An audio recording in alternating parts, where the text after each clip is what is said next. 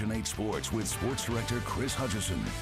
We'll lead things off with the Red Wolves. Arkansas State baseball is on a three-game losing streak. Now they'll hit the road for five straight away from Jonesboro. The start of the road stretch also marks the start of Sunbelt play. 7 and 8 A-State travels to 11 and 5 Louisiana. Tyler James gets the ball on Friday, Hunter Draper on Saturday, TBA on Sunday. Tommy Raffo wants his pack to put it all together for 27 outs we thought we'd be a little bit better than we we've shown on the record.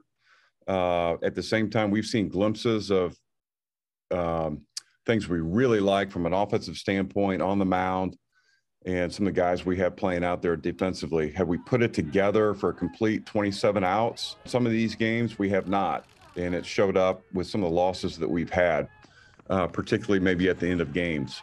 They're well schooled. They have some better uh, pitching matchups out of the pen now than they had last year and they just play really well at home. And so, uh, yeah, we're going to do everything we can to uh, get down there on Friday night and set our tempo. We've starting him because we feel like that's kind of where he's going to be.